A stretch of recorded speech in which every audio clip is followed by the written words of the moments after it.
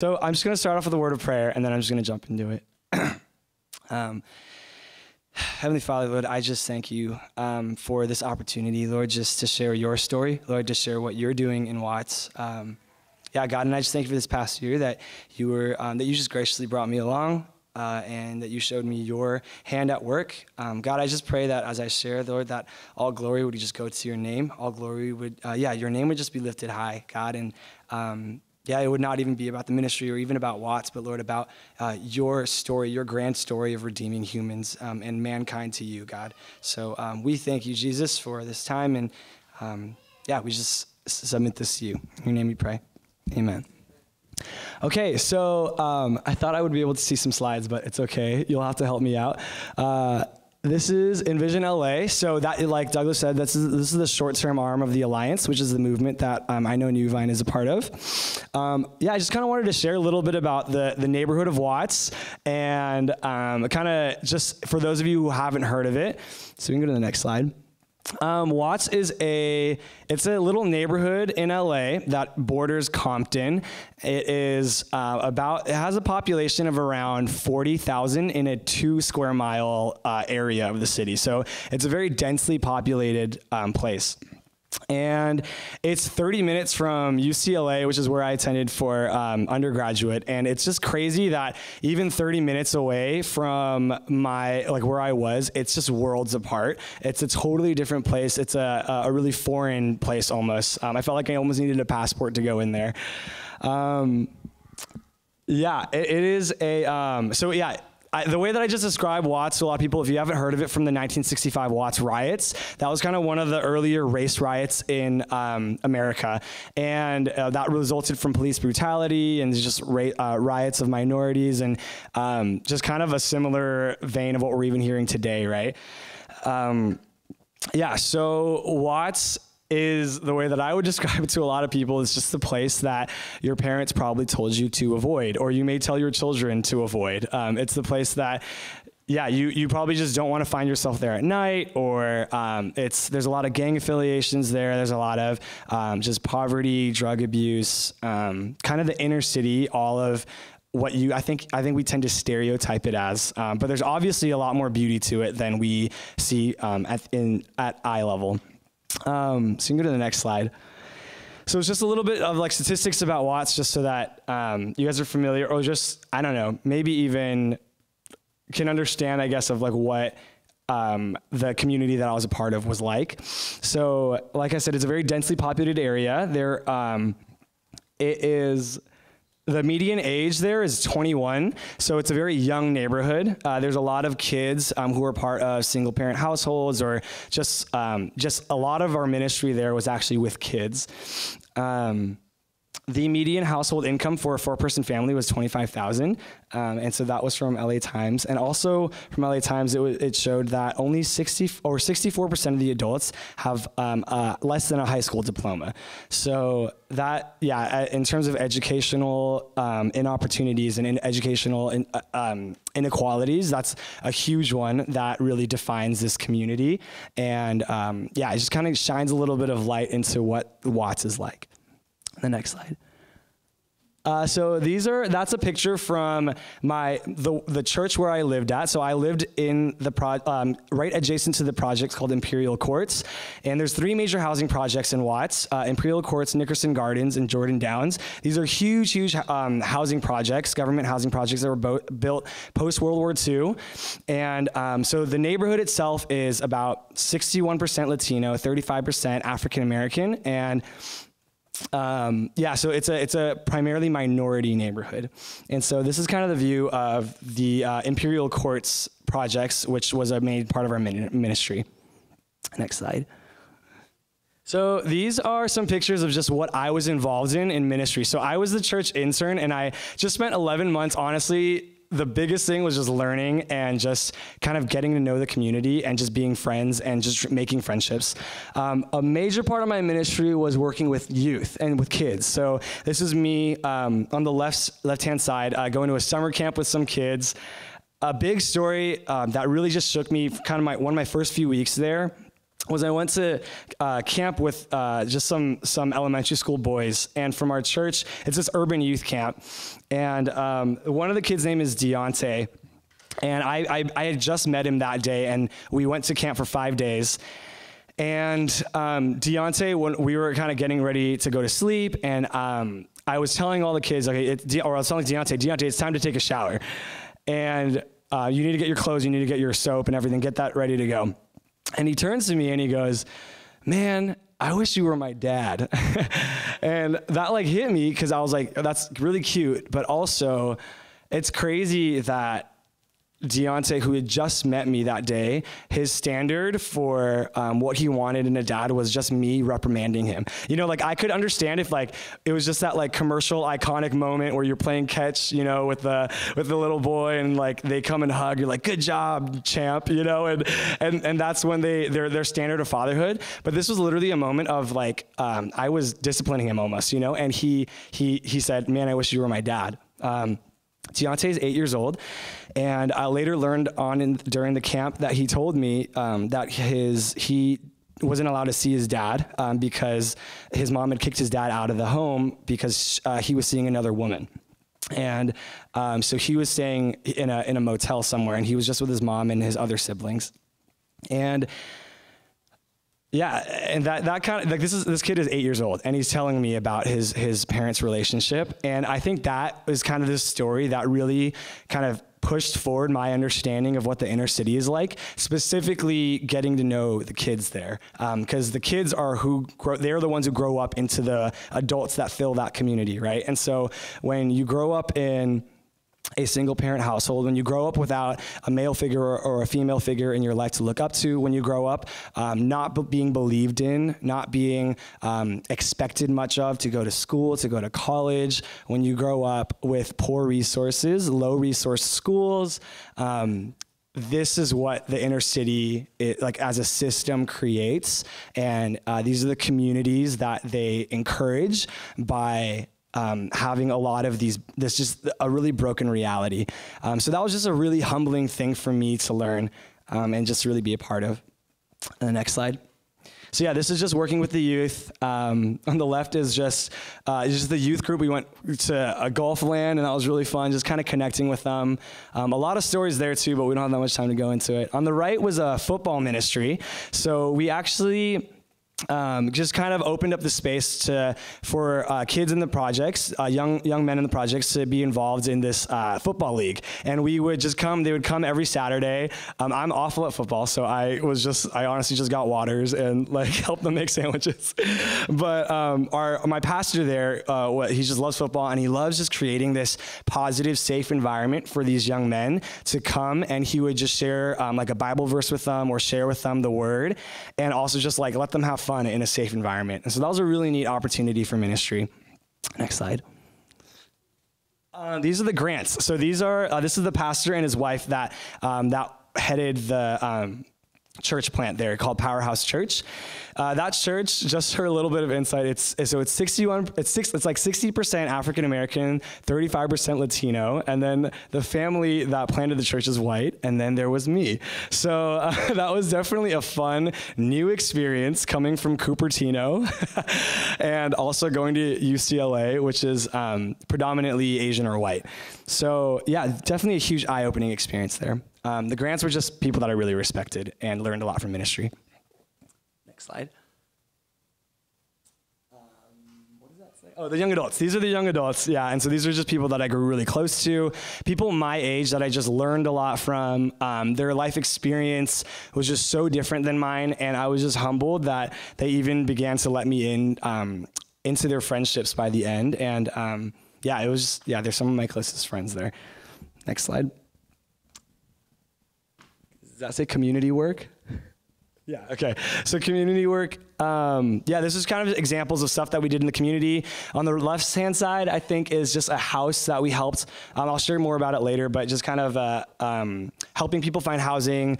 Uh, gentrification was a huge thing in LA. So the people in our church, actually, a lot of them were moving out because they couldn't afford housing there anymore.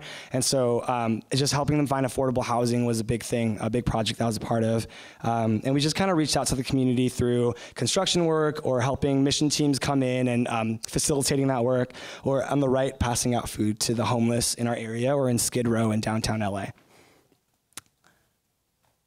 Okay, and then the big thing that I was a part of, the last kind of slide for ministry was um, this after school program. So I was a part of this after school, I, I helped launch an after school program that uh, paired college uh, mentors, Christian college mentors from UCLA and USC, and they would drive in uh, one or two times a week and help tutor and mentor kids from our church.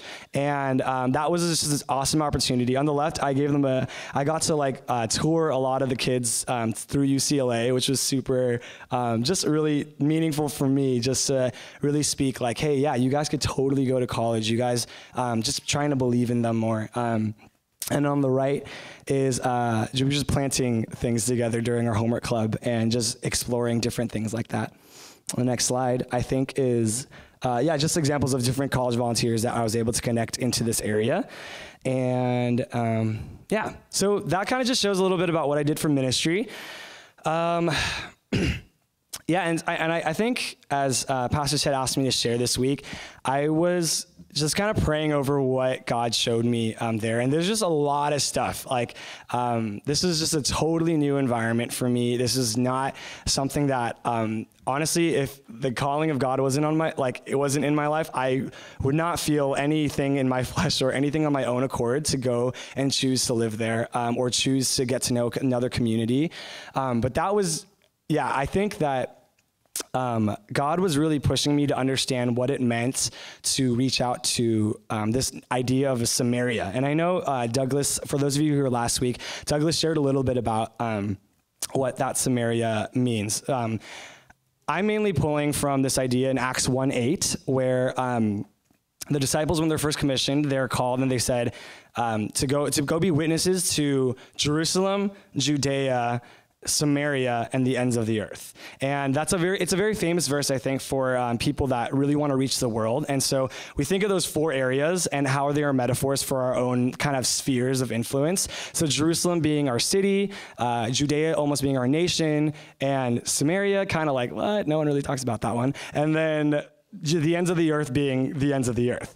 And my pastor, Pastor Todd Grant, he, um, when I was working down there, his big passion was why are we not talking about this Samaria?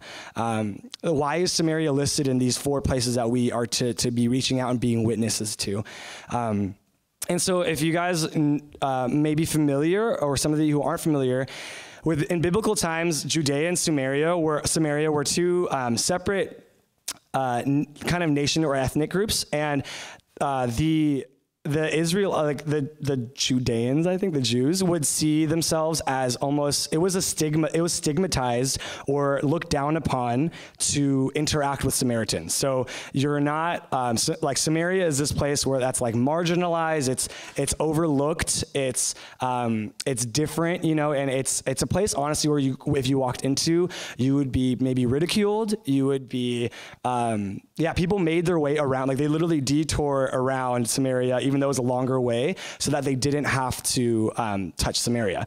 And you see that Jesus' heart is for the Samaritans just from his teachings, right? So we think of the Good Samaritan as one of the most famous parables, but also the woman at the well uh, was a Samaritan woman who um, Jesus entered directly into Samaria, which was this place that is seen as um, just a place that we avoid, right? And so Samaria is the place where we hold stereotypes against. Samaria is where our prejudice keeps us from engaging with those who, needs Christ, who need Christ's love. Samaria is where we feel uncomfortable, a fish out of water, maybe even hated upon as a sheep among wolves. Samaria is the rough and poor neighborhoods. Um, it's the LGBTQ community. It's the disabled and the mentally ill. It's people that I think are traditionally, um, to me at least, marginalized and pushed to the side and not thought of And that is specifically who God is calling us to as believers. Or if you if you call yourself a child of God, that is who God's calling us to. Um, and for me, that was a huge thing because, like I said, I grew up in suburbia. Um, I, I, grew up in a very safe neighborhood, and um, I really didn't think twice about it, you know. And then I moved then to a neighborhood where um, sirens were running by every night. I would hear like violence um, right below my window um, we had like you know theft and uh, you'd hear gunshots you'd have helicopters flying overhead and this was a place where um, yeah, like I, I think about even in if any of you guys know the geography of LA, South Central LA is this place that everyone kind of like makes a circle around. You know, like you uh, if you want to go from East LA to LAX, the airport. Um, many people would not like they were really frustrated in the early 90s i think or late 80s to drive through south central or drive through compton and so they they literally erected a the like freeway 105 freeway so that you could just bypass and not touch uh, South Central. And um, you have the 110, which is another freeway where uh, people of all these different so, uh, socioeconomic brackets are driving alongside each other, but no one has to interact with each other. And you can just bypass Compton, bypass Watts, bypass South Central, um, and go from Torrance to Pasadena without ever having to step out of your car. And um, that, so that's what I mean by Samaria. It's a place that where you avoid. Um, and ironically, or not so ironically, that's that's where God calls people to. and that's where He calls believers to, and that's where He called me to for this past year. Um, and so I think something that I really just really God kind of put on my heart was what does it mean to reach out to Samaria and how do we reach out to Samaria? Because like I said, Samaria is it's a very yeah it is a very um, excruciating, it's a challenging, it's a stretching, uncomfortable place to be. And it's specifically who you feel like it might be even be people that you have, have seen as your enemies or people that um, you, yeah, you just have all of these uh, kind of stigmas or assumptions about. Um, so if you can go to the next slide. Yeah, so I, I think I kind of summed up I think four major things that really God challenged me with um, as I was thinking about what it means to reach Samaria. And it really came down to this idea of power or entitlements. Um, and I guess the, the, the, main thrust of what I'm, I'm trying to share is the gospel of Christ is the surrender, surrendering, it's the surrender of personal power and self preservation for the sake of the other. Because I'll repeat that again because it's a little packed. But the gospel of Christ is the ceding or surrendering of power personal power and self preservation for the sake of the other. Um, and so, what I mean by that is that I really believe the gospel of Christ and what king, the kingdom of Jesus, when he came, what it was really calling us for was actually to, to release our entitlements, release what we feel like we deserve, release our reputations, uh, surrender our even our dignity for the sake of reaching others, especially those in Samaria. Um, and so I'll, I'll kind of hash that out into like four different points. So um, the first point that I really learned was considering others' interests above, above my own. Um, and I really pull this from this passage. The next slide is Philippians 2. Um, we can read that all together, maybe, on the count of three. One, two, three. Do nothing from selfish ambition or conceit, but in humility count others more significant than yourselves. Let each of you look not only to his own interests, but also to the interests of others. Um, so I, I, think for those of you who may be familiar with um, maybe Christian doctrine or teaching, the idea of loving others is not like necessarily new, right? And even in, in our cultural, like our culture today, loving others is not very new. But what I think was so radical about this passage that God really put on my heart this past year was what does it look like then actually to love others at the cost of your yourself? Um, what does it mean to love others when you are put on the line or it, it comes at your own expense? And um, I think a big thing, like, so an example of that would be when um, I went to go help this lady uh, find housing, and um, she was part of our church, and she had four daughters. Um, her eldest daughter was shot when we in October. Um, she was she survived, but uh, it was a fatal. It was like through her thigh. and uh, just had no male figure helping her out. And she was on the verge of homelessness. Um, she was living with her sister. And um, for four months, four to, four to five months, um, I just really felt God lay on my heart, like, you need to help her. You just need to help her. Uh, you need to give what you have to help her find a home here. And so uh, I would drive, I would just spend long moments driving, um, just driving her to different housing complexes, different, uh, filling out applications, helping her, um, like even like take care of her kids for a little bit uh, when her oldest was in the hospital. And um, if you like, if, if you think that that came easy to me, you're completely wrong because I think there was this notion, like this, this huge part of my flesh was um, asking, maybe you guys are familiar with these, some of these questions, but it's like, does this even like fit my schedule? You know, like, does this, like, is this isn't on my agenda, but you know, I guess like I can, I can help her out today, you know, or, um, is this person even to appreciate this right like sometimes i would ask myself that and like she didn't say thank you like when when I dropped her off like it's is it's not even worth it you know and um and there's, so there's a lot of turmoil in my own flesh of like um, what does it mean to serve others at my own expense and not even demanding gratitude, not demanding payment, nothing, um, but going out of my way um, to consistently serve her was something that God really, really pushed me to do. Um, and yeah, I think that that was such a telling thing, especially in communities like Samaria, where I would say Samaritan communities, I'll just make up this term right now, but like those communities that I mean by like marginalized, overlooked, and ignored often those communities are often the ones that have to fight for themselves. Um, they're often the ones that have no one else looking out for their interests. And so, what does it mean to be a minister of Christ, to be a child of God, to go and serve others by considering their interests above your own. Um, I think the Philippians verse is like really radical because it says, consider account others more significant than yourselves.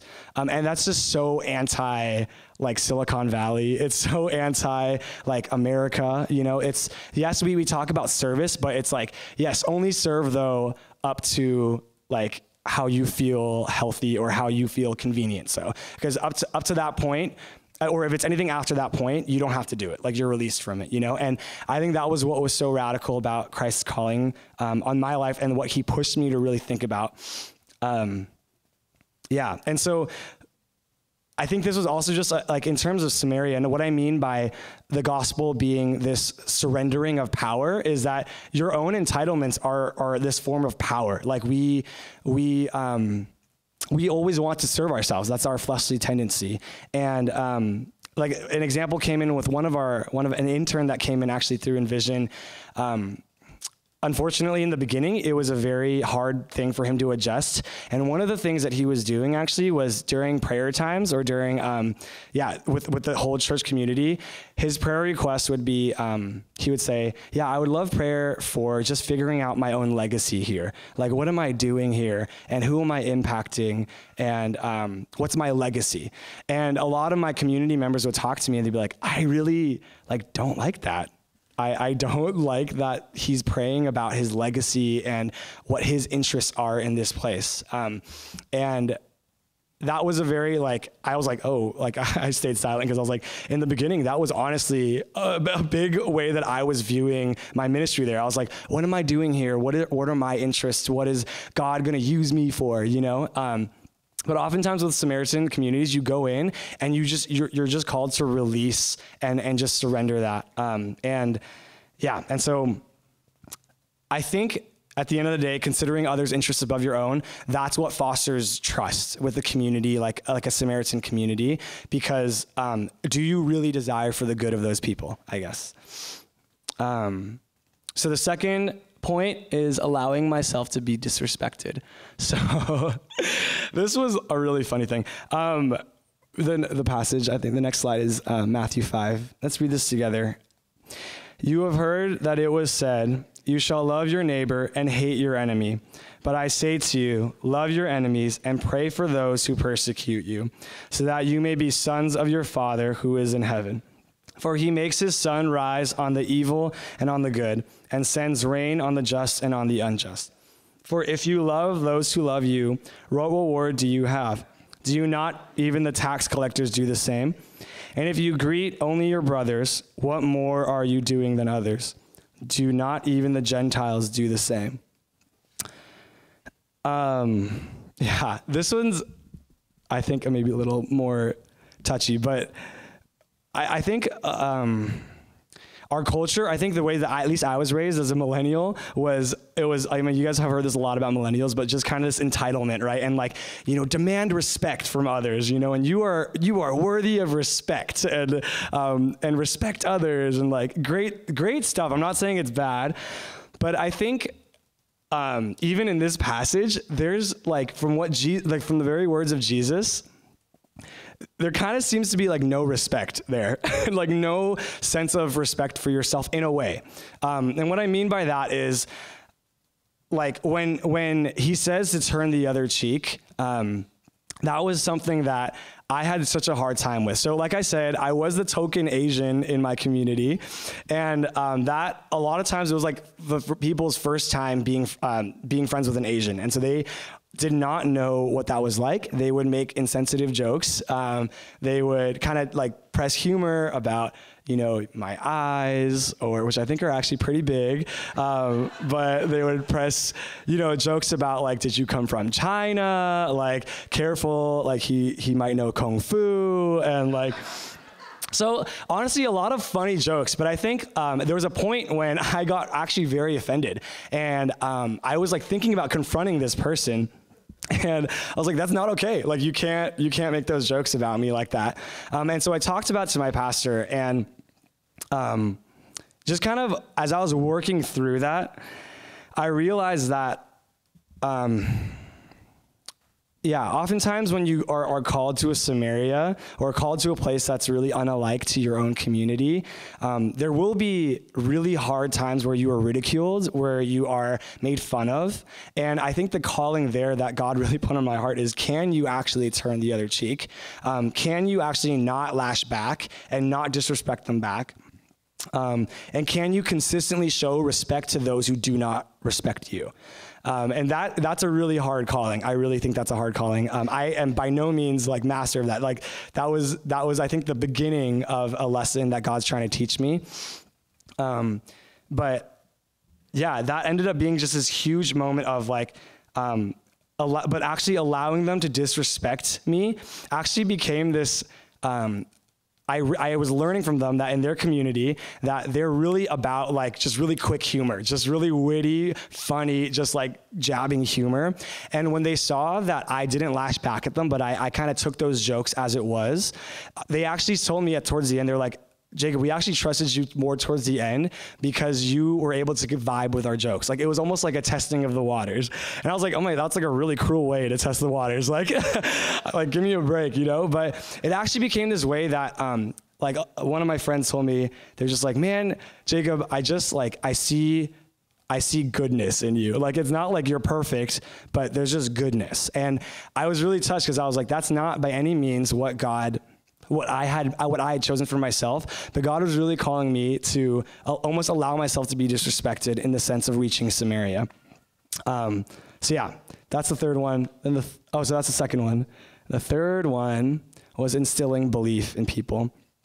Um, yeah, so uh, again, on this notion of reaching to reaching Samaria or reaching others that are are overlooked or marginalized, um, I really think about uh, the story of Saul and how Saul, when he came um, and he was converted, um, it wasn't like God like will open up his eyes and he just went to go preach, right? It, it was actually funny because Saul, um, God chose this man named Ananias to go reach out to Saul, and um, and it's this idea that what I mean by instilling belief is that I really, like, God really ch- shook me up in, in how much I was willing to believe in others and empower others, um, and especially people that I end up doubting. So um, in, in, in Saul's case, he was like the enemy of Christians. He was the persecutor of Christians. He, he was known to even like send Christians to their death. And when God um, opened his eyes and God turned him and, and, and Paul was converted, um,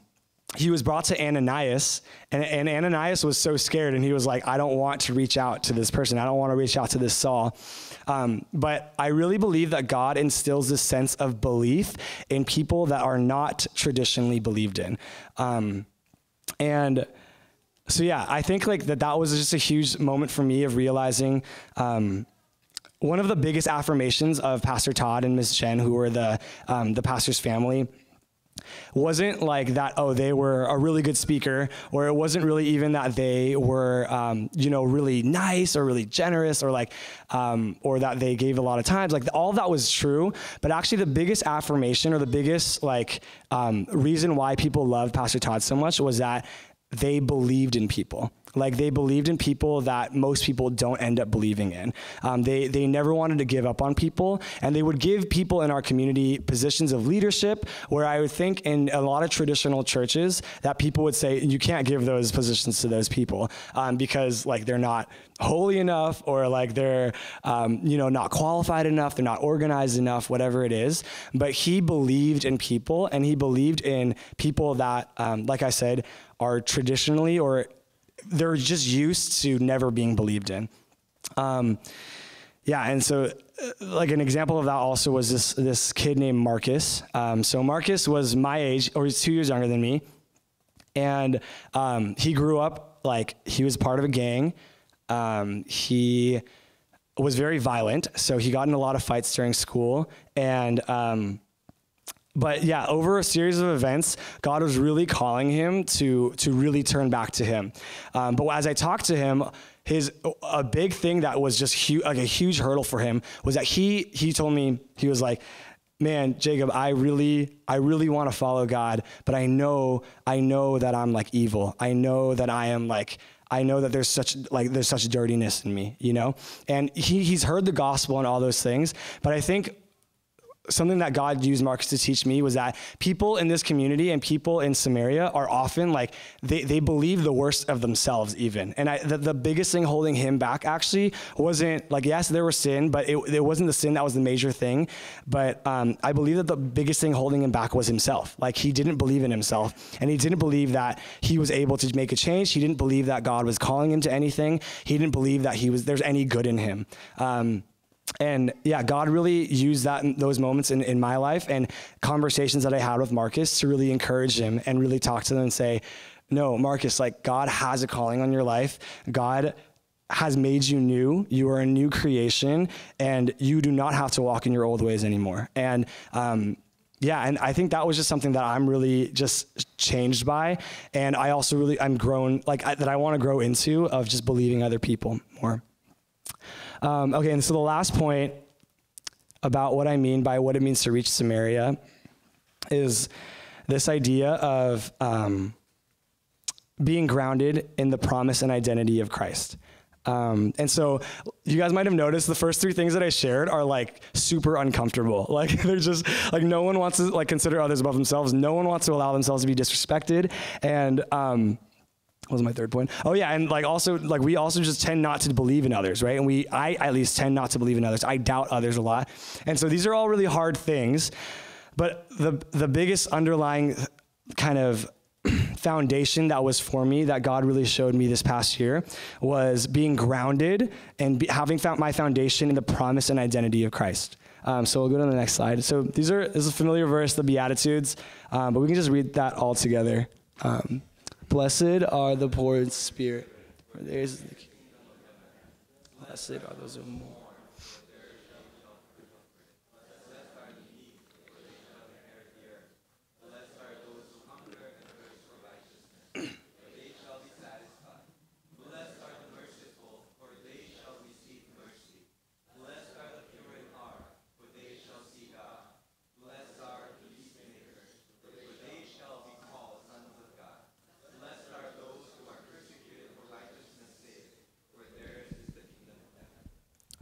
All right. And so the Beatitudes, I don't know. I think it's it's it's interesting because a lot of times when we read this, we we go like, "Oh, blessed are those who mourn," then like I should go mourn, you know, or like blessed are the are the meek, like I I should be this.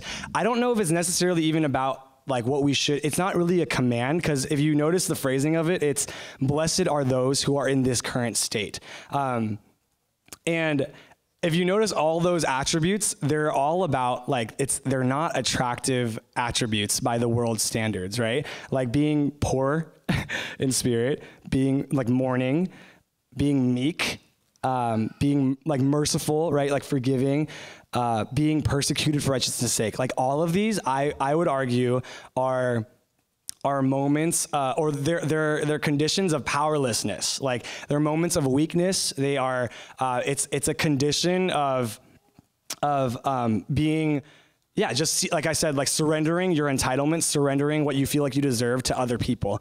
And it's not yeah it's not like sexy at all. It's not something that people uh, in this world really aspire to be um, but through the Beatitudes, actually this year, it came up so much for me, the Beatitudes. And um, God really reminded me of these truths that God's blessing is truly upon the powerless and and god's blessing are is it's truly on people who um, are not traditionally in places of power or or people who are controlling others or um, all these things and so a big thing that i learned is that yeah we can only be uncomfortable in this world and in ministry because we find our true comfort in the promise of Christ. Um, I'll say that again. So we can only be uncomfortable in this world and in ministry because we find our true comfort in Christ.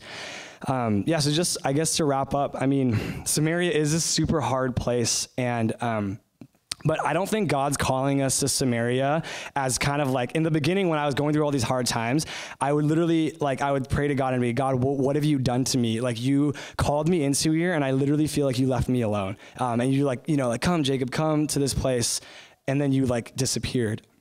Um, but what I got wrong was that God was only calling me to be uncomfortable and to die to my flesh and to die to myself because because he was my true comfort and because he was my true rest. And I think that was what I think like it, it just really excites me about ministry to hard places because I think Christians and people who know Jesus are truly the only ones in this world equipped to go into hard places like this because we have the backing and the reinforcement of Jesus with us, right?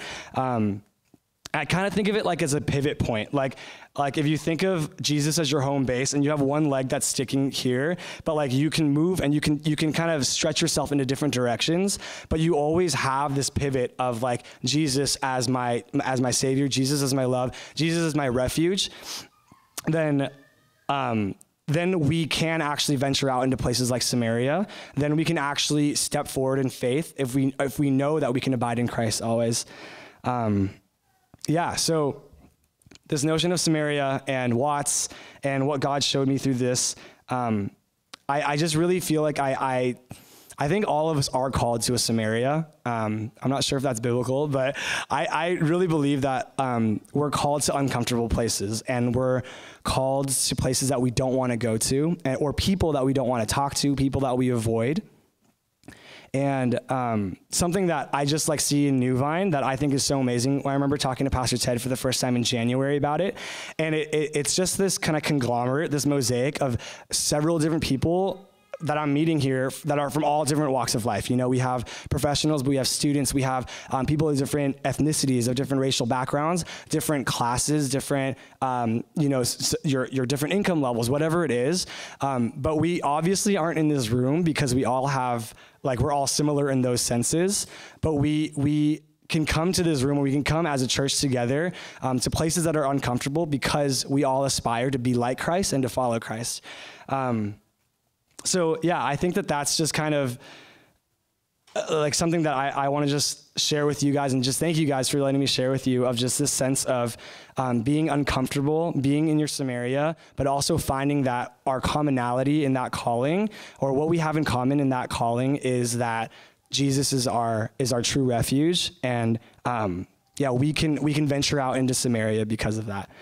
Um, yeah, so I'm just gonna pray to close us. And um, yeah. Heavenly Father, I just thank you so much um, for this opportunity, Lord. And um, yeah, God, I just thank you, Lord, that your kingdom, Lord, is not about um, those who are powerful. It's not about those who are in um, yeah, who exercise their authority over others, Lord, but um, your ministry and how you call us, Lord, to people um, that are uncomfortable for us to interact with, God.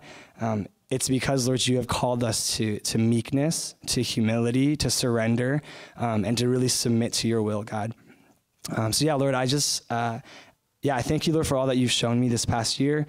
Um, Lord, I just pray for uh, continually for uh, this church here, in New Vine, um, that it would be a place where others feel, um, yeah, Lord, that boundaries and lines between Judea and Samaria can be broken because of your name, Jesus. Um, and boundaries between people that traditionally shouldn't interact with each other, Lord, um, they are broken because of your blood, Jesus. And so uh, we thank you, God, and um, yeah, we just lift up your name. In that name we pray. Amen.